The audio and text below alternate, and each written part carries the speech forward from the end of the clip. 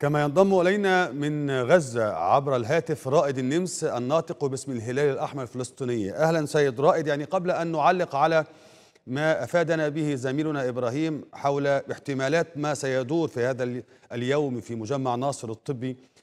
فقط أنت في غزة أنت في مدينة غزة. كيف تبدو الأوضاع لديك في مدينة غزة أولاً؟ أهلا بكم في الواقع يعني نحن اتحدث معكم من مدينه رفح تحديدا جنوب قطاع غزة وليس. من مدينة غزة مبدئيا وحسب يعني المعلومات التي تصلنا من فرقنا العاملة في قطاع غزة فان الوضع في شتى المحافظات بات كارثيا للغاية وخاصة في مناطق شمال غزة التي يعني أصبح المواطنون هناك ويقدرون بثلاثة ألف نسمة دون غذاء أو ماء أو خدمة طبية. أيضا الوضع في محافظة غزة لا يقل سوءا عنهم هناك. فهنا يعني يوجد صعوبة بالغة في تلقي الخدمات الصحية نظرا لتوقف أغلب المشافي. وأيضا هناك مشكلة في الأمن الغذائي والمياه والعلاج.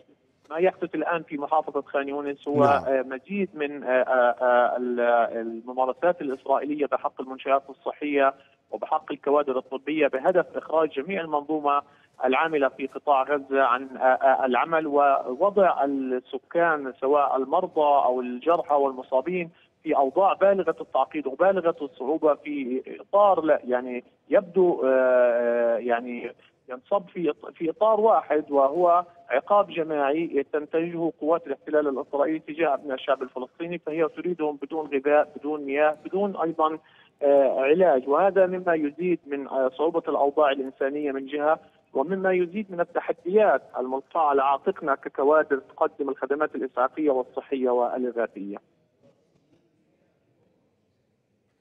طيب فقط وأنت معنا سيد رائد نوضح لمن يستمع إلينا عبر الإذاعة في قطاع غزة أن الآن مراسلتنا في جنوب لبنان وكذلك مراسلتنا في إسرائيل يؤكدان أن الطيران الإسرائيلي يشن سلسلة من الغارات في عمق الجنوب اللبناني.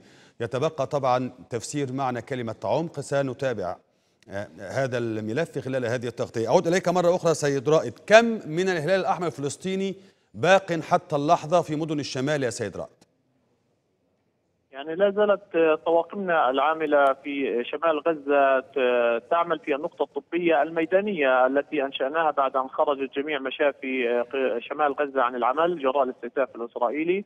وطبعا هذه النقطة ومركز الإسعاف أيضا التابع لدينا عاد ما يتم اقتحامه واستهدافه من قبل قوات الاحتلال الإسرائيلي وتعرض قبل ذلك إلى اعتقال ثمانية من كوادرنا المسعفين ولكن رغم هذه التحديات جميعها يواصل كوادرنا هناك العمل من أجل عدم ترك أهالي شمال غزة دون مقدمي خدمات إسعافية وصحية. الآن أيضا الناطق باسم جيش الاحتلال يؤكد أن الطائرات الإسرائيلية تشن غارات داخل لبنان. يعني مرة أخرى كلمة داخل لبنان هذه كذلك كلمة تحتاج إلى كثير من التوضيح. أشكرك المتحدث باسم الهلال الأحمر الفلسطيني رائد النمس. كنت معنا من رفح. شكرا لك.